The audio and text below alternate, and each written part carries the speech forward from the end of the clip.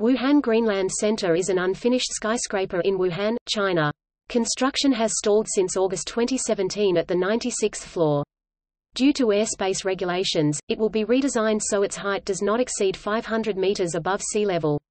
Another Chinese building, Ping An Finance Center, was also scaled down for similar reasons.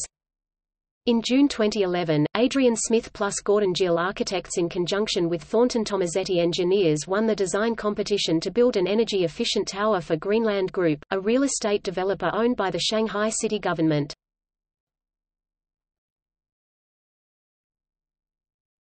Topic: Floor directory, original design.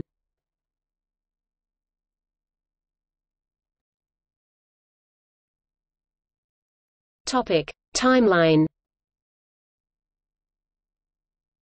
The 8th of December 2010, ceremony for construction held.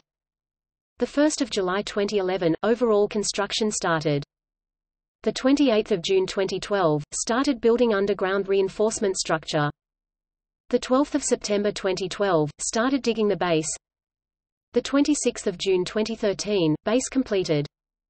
The 4th of January 2014, first steel beams installed. The 28th of July 2014, basement finished, above-ground construction started. The 30th of December 2015, the building reached 200 meters above ground. April 2016, the building reached 245 meters above ground and cladding has become visible. June 2016, the building reached 300 meters above ground. The 27th of December 2016, the building reached 400 meters above ground.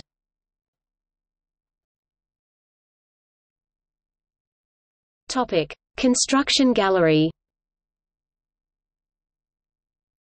Wuhan Greenland Center, Wuhan